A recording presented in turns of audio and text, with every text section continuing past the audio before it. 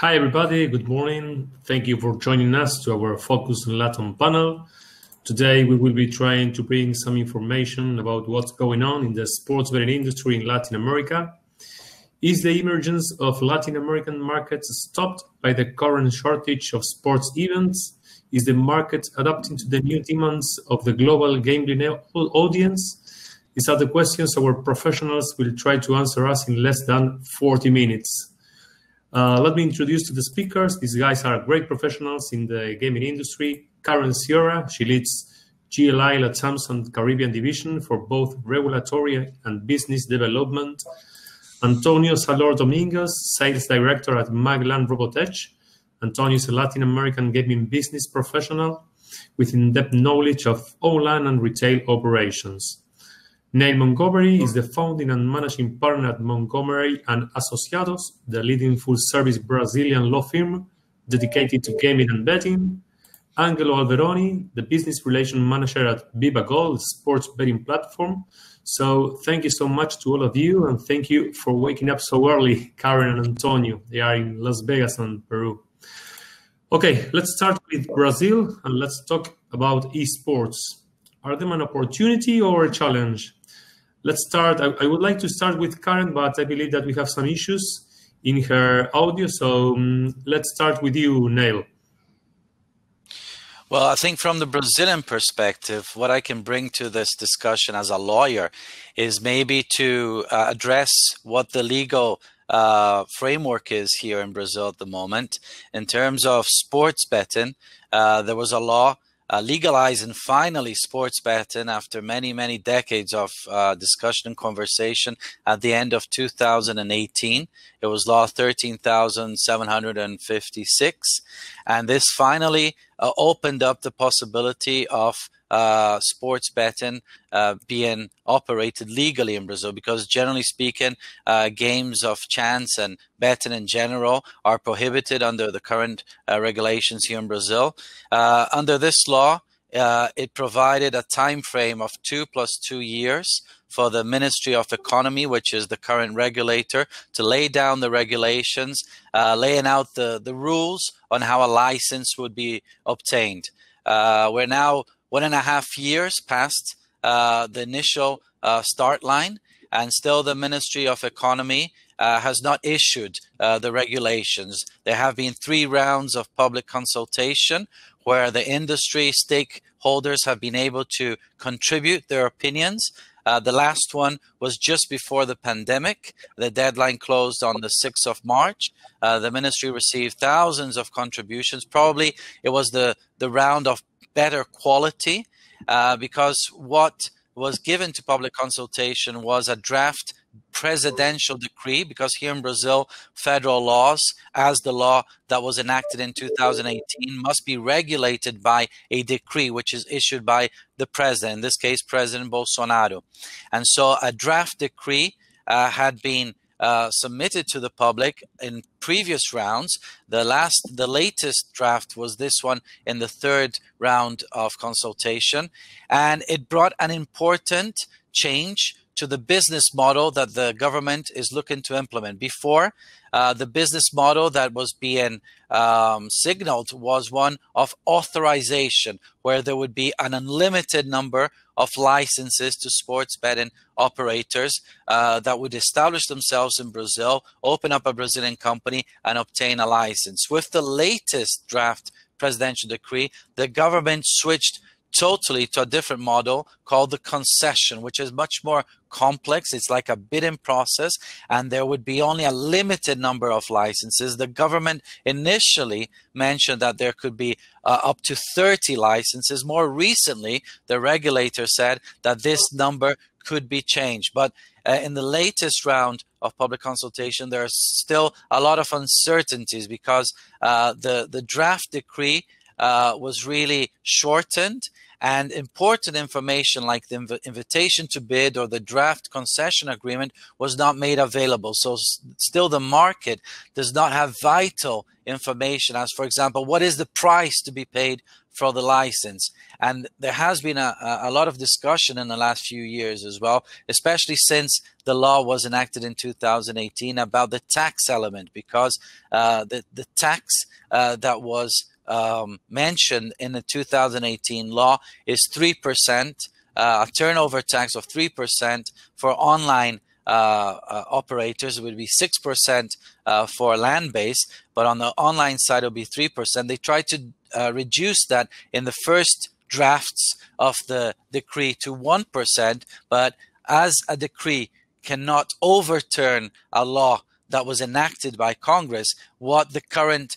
turnover rate is is still the 3% for online. So at the moment, there's still uh, discussions. Uh, the regulator mentioned that now in July, the BNDES, which is the Brazilian uh, Economic and Development Bank, is going to be appointed to spearhead this process of um, fine tuning uh, the decree, engaging legal advisors, financial advisors, and that process should take uh, most of the second half of 2020. So the plan is to potentially have the regulations out by the end of this year or the beginning of uh, next year, potentially just before uh, ICE 2021. So this is the current scenario in Brazil. The market, the industry is waiting to see what the regulations are going to be potentially before moving forward here in Brazil. Okay, that's good. That's good. Thank you, Neil. And what about Angelo? What do you think about this situation in Brazil? We we trying to to start talking about esports, and yeah. Neil lead me to the to my second questions about the regulation of sports betting in Brazil. So, what about you? What do you think about this? Okay, uh, I will talk about the esports because uh, I think Neil is uh, expert of law yeah. and, and resume yeah, yeah, everything is going on in Brazil perfectly. So, in my opinion, I think the regulation is coming in the middle of the next year. It's my personal opinion, 2021.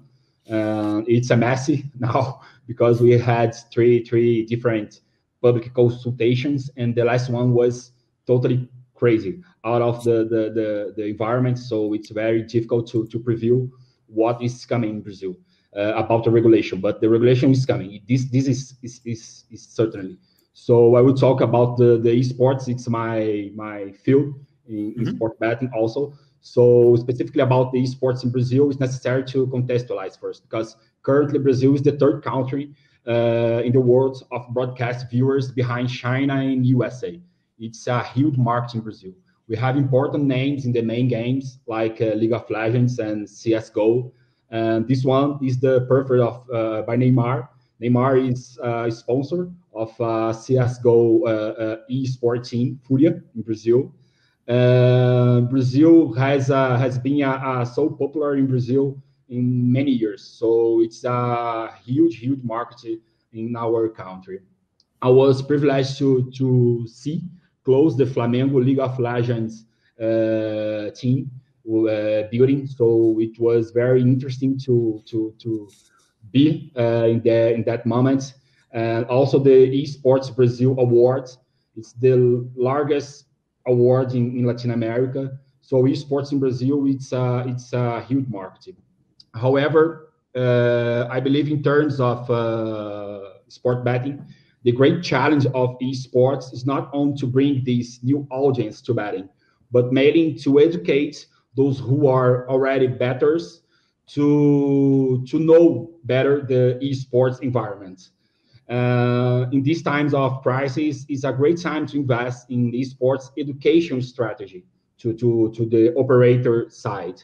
Uh, a survey by H2 Gambling Capital last, last week, I think, uh, showed that esports will double his size by 2024 from 1.6 to 3.2 percent of the turnover of uh, all bets in, in the world.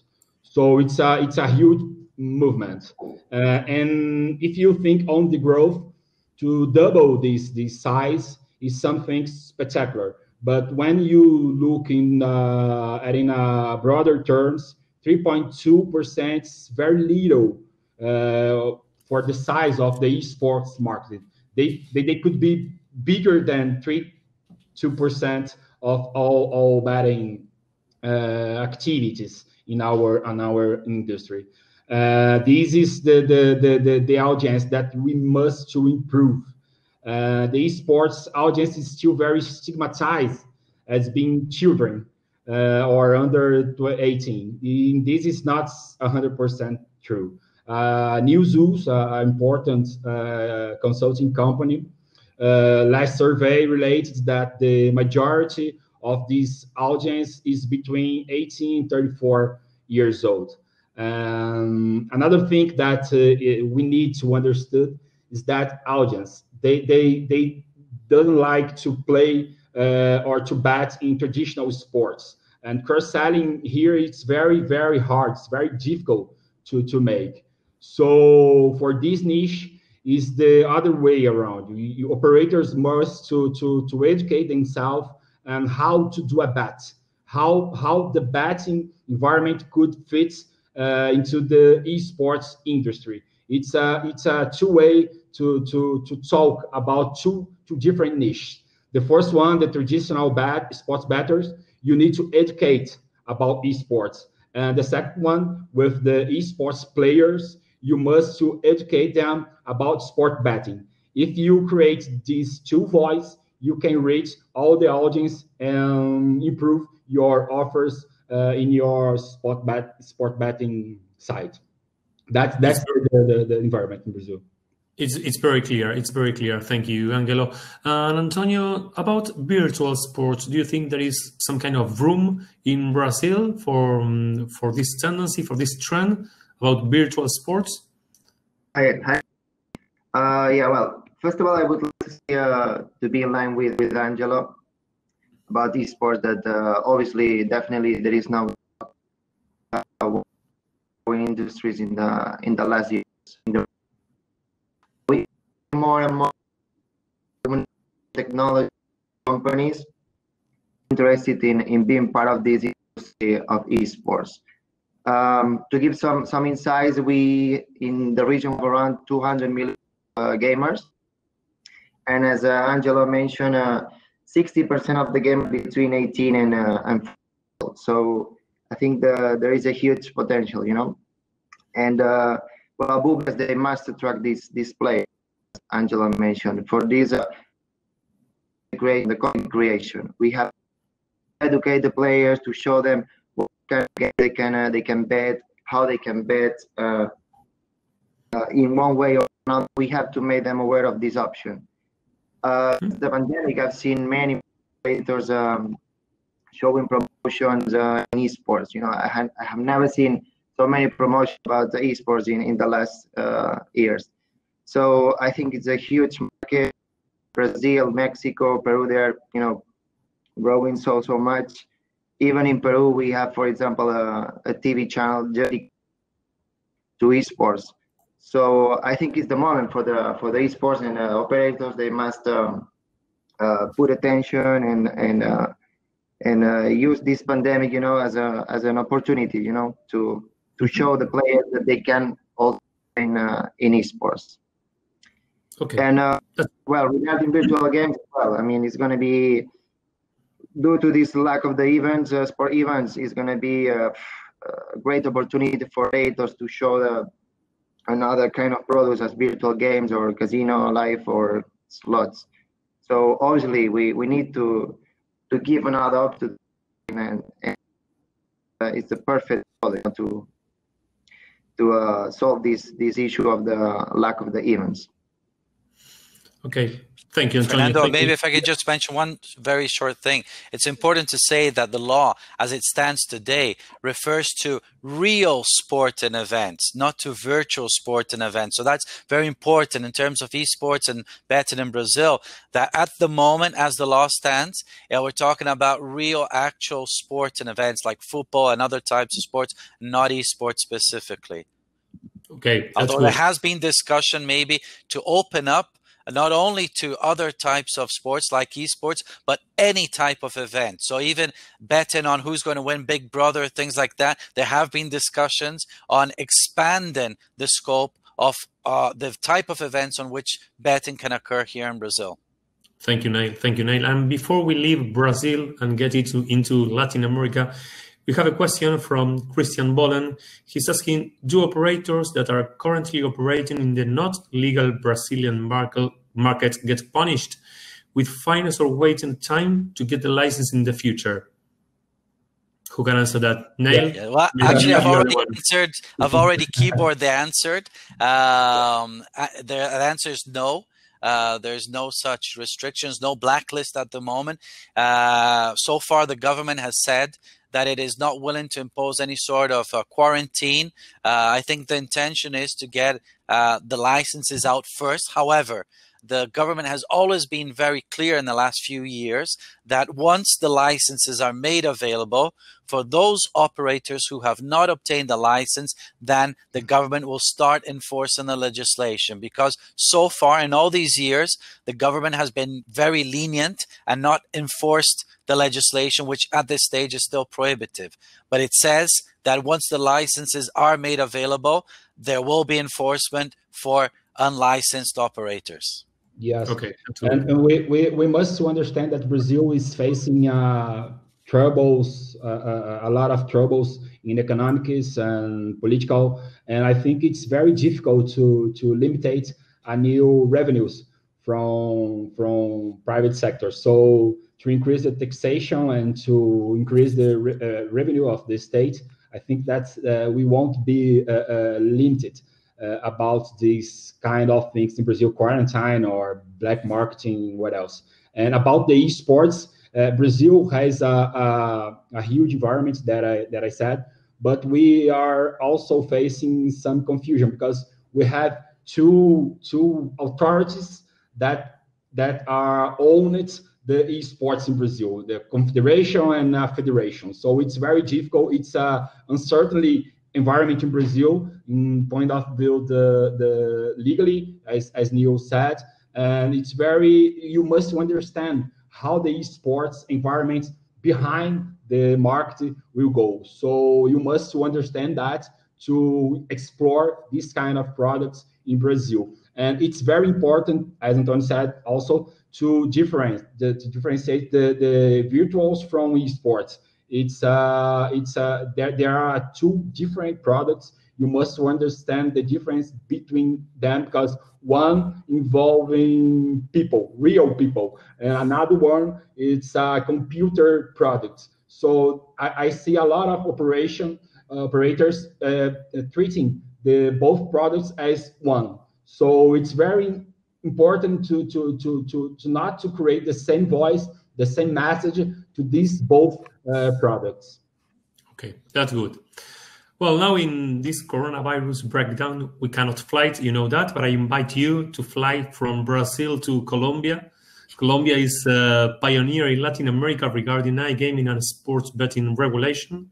So, what do you think uh, about other countries? They they will follow them when and how seem to be the, the golden questions, and maybe Antonio can can start answering this.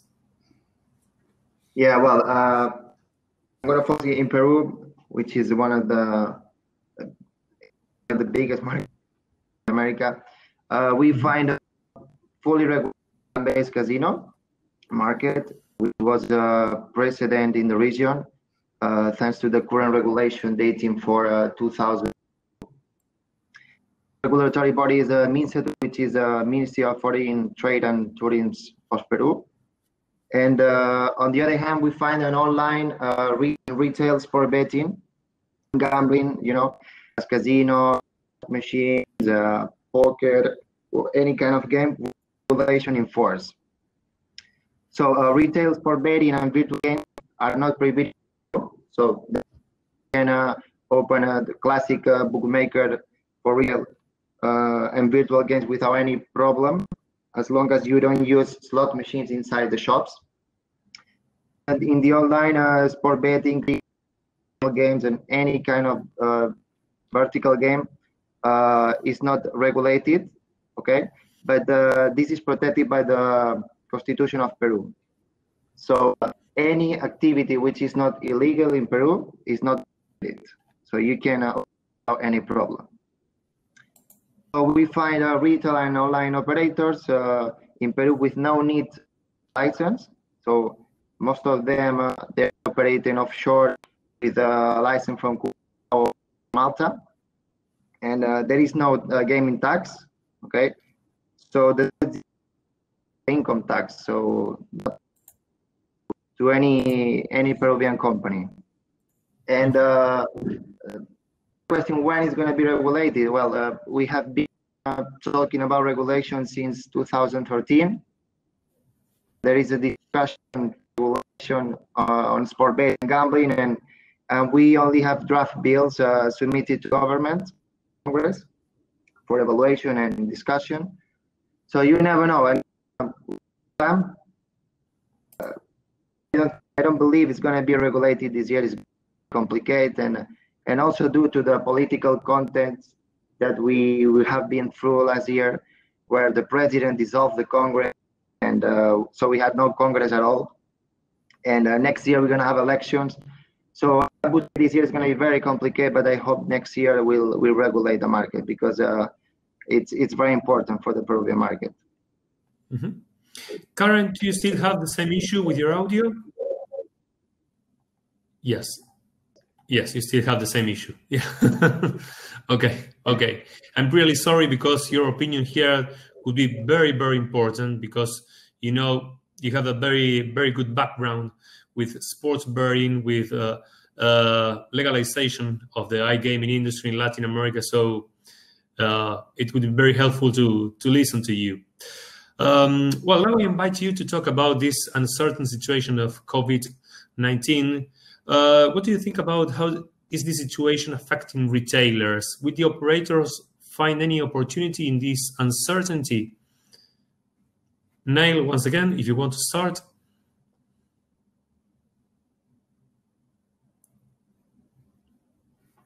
Neil, I believe that we can't hear you. Uh, yes. yes. the COVID has indeed impacted here the market. First of all, because we don't have any real sports and events to bet on, right? Football is, is stopped, which is the main sport here in, in Brazil. I think worldwide there are only three countries at the moment with championships like Nicaragua, I think Belarus and Turkmenistan. Uh, otherwise, here in Brazil, everything is, is stopped.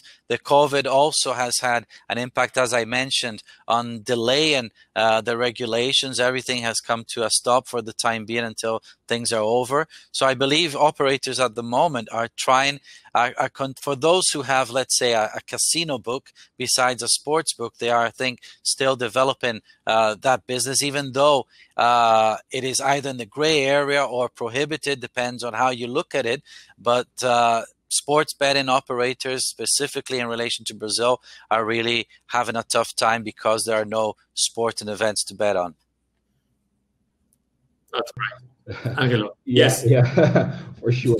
We are facing uh, uh, difficult times in Brazil do it because our operation is fully uh, of a sport betting.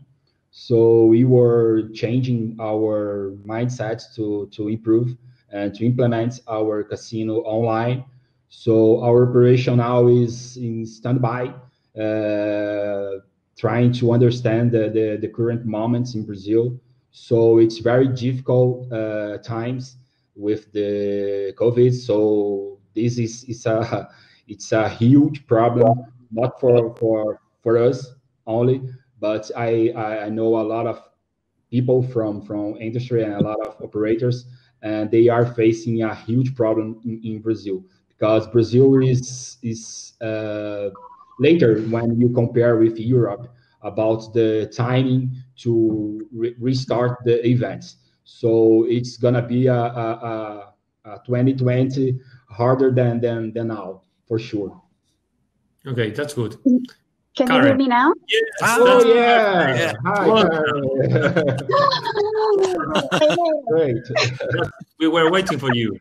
Sorry, guys. I had to use my phone. It wouldn't work in the computer. Something about that. so, with you, I would like to know about you about the um, regulation frame for the iGaming and sports betting in Latin America. Well, you know a lot of of this stuff. So if you can say something about this.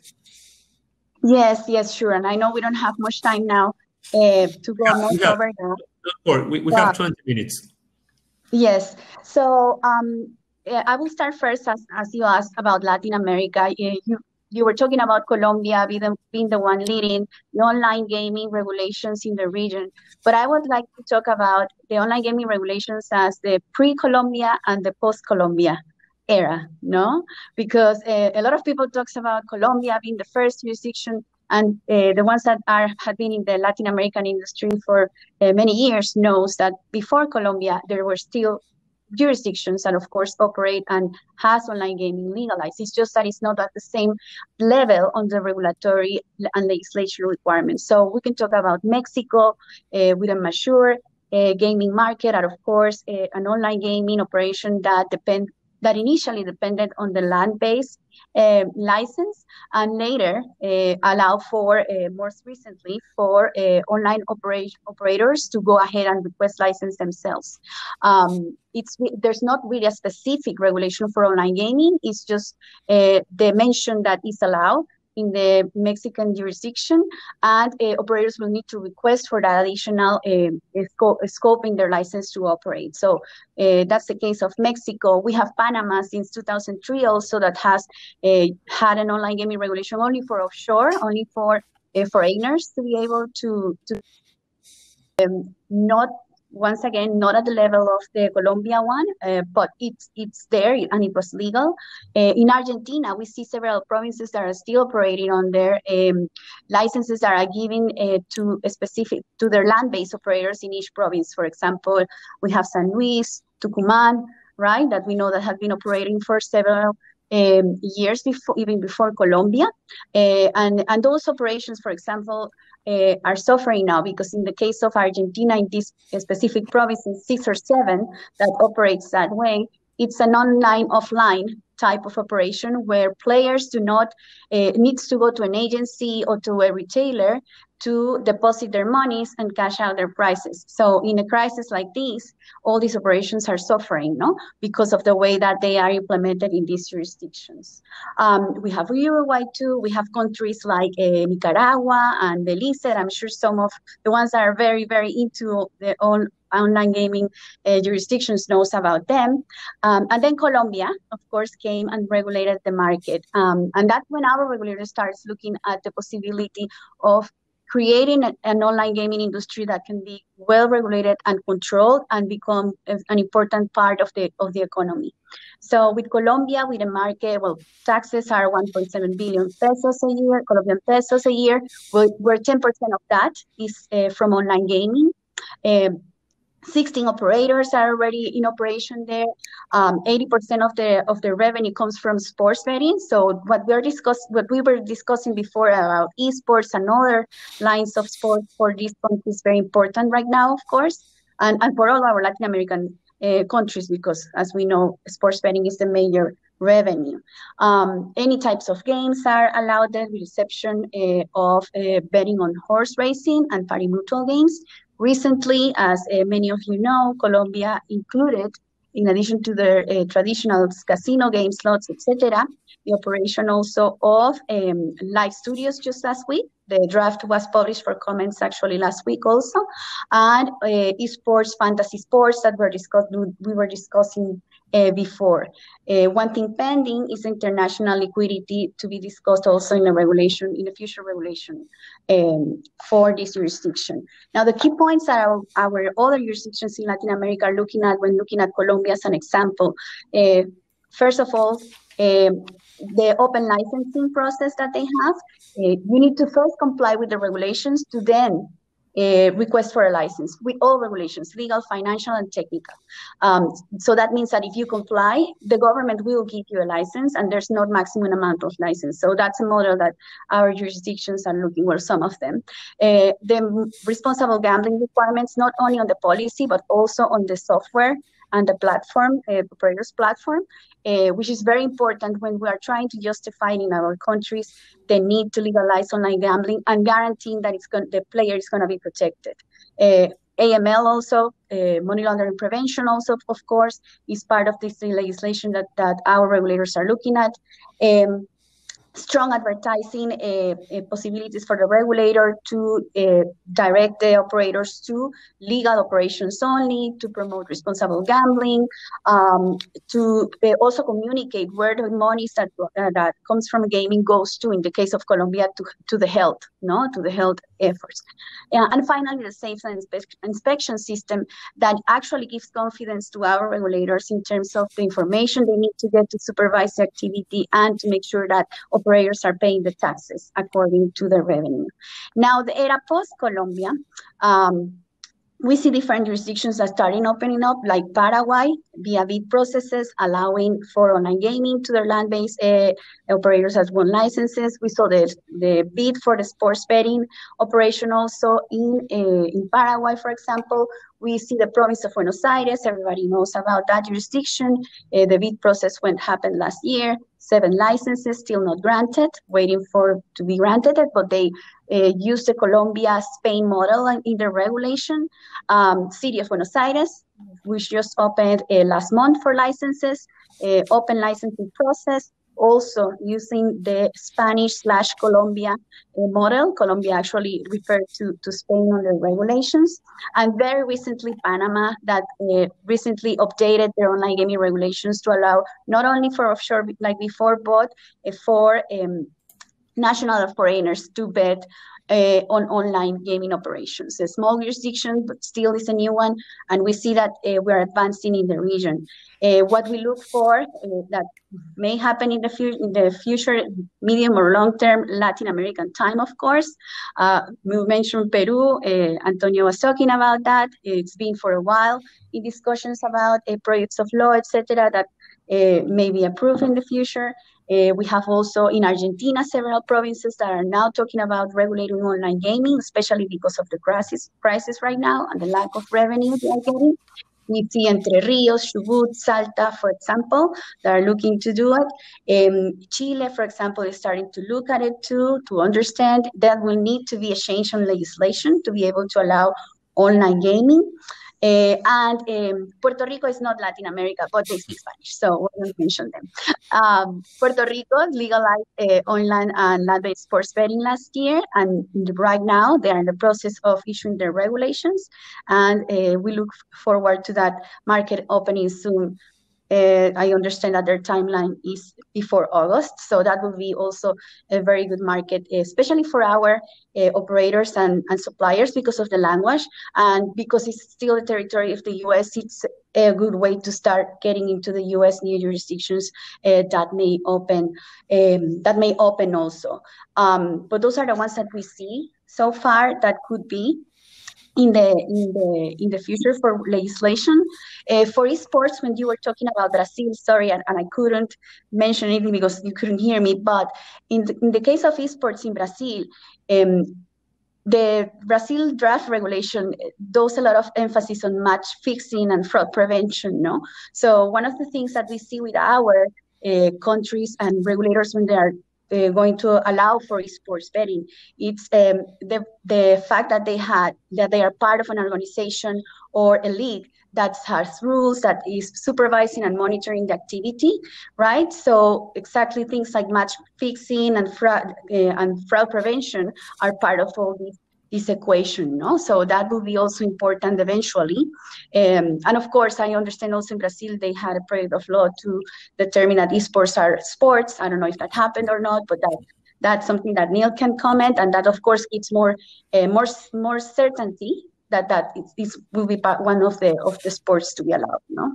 Mm-hmm. Neil, do you want to add something else Yes, no, that, that that's true. There have been um, efforts in in making esports sports because the Ministry of Sports has a list of everything that is considered to be a sport, and then if if you get on the list, then potentially uh, you could also be allowed to bet on on those sorts of sports. Mm-hmm. Mm-hmm. That's perfect. Okay, and something else, maybe uh, a new question because Argentina and Brazil, they have their laws about sports betting. They are approved, but they are not regulated. So at the end, it's some kind of gray that we have between the, uh, the approval of the law and the regulation of it. So, what do you think about this situation? Because many operators have been waiting for a long time for Brazil and Argentina to open the market, and at the end, we have the law, but we don't have the regulation. What do you think about this? Well, uh, at least in relation to, to Brazil specifically, uh, until the enactment of the law at the end of 2018, uh, the, the legal position was that uh, sports betting and other types of online gaming uh, were pro prohibited. With the law in 2018, you can now say that uh, it is not unlawful to provide sports betting in Brazil. It would still be unlawful for other types of gaming, but sports betting specifically, my view is that with the law, it is it is no longer unlawful. However, since it is not yet regulated, there are no licenses available, right? So uh, while the foreign operators in principle could still access the market, and as I said, Braz the Brazilian authorities have not imposed any quarantines, any bad actor clauses yet, uh, this will to date not affect uh, the ability to obtain a license. But if by any chance the new regulations do change that, then operators who are currently accessing the market must take care. But at the moment, there is a legal argument to say in Brazil that sports betting specifically would not be unlawful. Other types of gaming, yes, but sports betting, no. That's why even foreign operators are being able to sponsor Brazilian football teams. So there are many Brazilian football teams with the logos on, on the shirts. Why? Because it is legal, it's just not regulated yet. Okay, that's perfect. And Karen, do you think that it's a similar situation in Argentina? In well, in Argentina, and I know us uh, here, the panelists understand how it works, but just so everybody that is listening also understands, Argentina works uh, has a, um, jurisdictions per provinces. There are 24 provinces, so each province has their regulatory body for everything gaming and lottery. So we cannot talk about the whole country as a whole. Um, we, as I, I, as I mentioned before, per provinces there are six or seven that already has online gaming operations and sports betting, but only within their jurisdiction. That's why the offline and online uh, way that they operate uh, uh, since two years ago when the city of Buenos Aires and the province of Buenos Aires issued their own regulations and legislation for online gaming. In their case, it's going to be on, on fully online, but there are requirements to uh, identify where the bets are coming from. So you know that the bets are coming with, from within their territory. So it's not that it's not um, it's not regulated. It's not regulated for a whole country, but it's regulated for specific jurisdictions. And as I said, City of Buenos Aires just opened the licensing process for that, and it's really open for companies that wants to apply for a license for not only sports betting, for any online gaming, but uh, online gaming type of games, casinos, etc., but lotteries, no, of course, and horse racing, which is also an exception. Okay, thank you, Karen. Thank you very much. Mm-hmm. And we have seven minutes remain. So um, I would like to, to ask you, to the four of you, about this this coronavirus breakdown. Of course, this situation changed changed everything in the gaming industry, in the iGaming industry, industry, sports betting. So, what do you think? Where will be? Where will we be in the next one or two years? Who wants to start? Antonio and Angelo? Okay. I can go on. Go, go. Angelo. Okay. Go well, uh, it's, it's, it's difficult to say. Yeah, no, no, no. Uh, well, uh, it, it was a it, it, it caused a, a big impact, right? Uh, so land-based operators are the most effective. I mean, they to casinos, betting shops, so it's huge impact. For example, in Peru, we have over 700 casinos, and the government right uh, to the entertainment, to the industry. So uh, uh, now is the time for the for the line. And uh, line operators trying to trying to survive this crisis and keeping their revenues on the work still suffering the reduction, uh, one that allows them to, to support the, the operation. and uh, also they have to change their strategy. I mean, uh, in terms of the marketing, they're looking for new products uh, to to give this, this uh, I mean, to given to this lack of sport events. So, in Peru, for example, before the crisis, uh, yeah. Of the turnover was coming, and now we are facing a, a growth of vertical products such as games, casino, live casino bingo, poker, whatever. So one of the keys to success is uh, is now uh, how to uh, officially promote the new offer of the products. Uh, so the content of the creation is going to be the key, you know, for uh, to see how they can play uh, games, how they can play blackjack, how they can bet on a slot, because most of the players from land don't even have account in a in a online opera, platform. So they need they need to educate the players. And um, a great opportunity for operators to to why they offer. After the crisis, we will vertical uh, has a position it, and we'll find obviously operators with platforms. So I think it has been a, a great opportunity uh, for the to improve Perfect. Uh, I agree. I, I, uh, yeah. Four minutes. Four minutes yeah. remaining. I will, so I will, I will take, I will take just one minute. Uh, I agree with Antonio about the future of the new products, and I will go forward. Uh, we must to see and to look for a US. Uh, Karen is, is, is there. Uh, we must to understand how the, the TV is growing with new betting uh, shows like the ESPN and Fox. And I think that's the the, the that will be the future of the, the the entertainment with betting. I think that we must to explore even more these kind of products between television and sports betting operators. It's a great synergy, and we must to uh, face these these new products and improve this kind of uh, products to to our fan base it's it's it was quickly.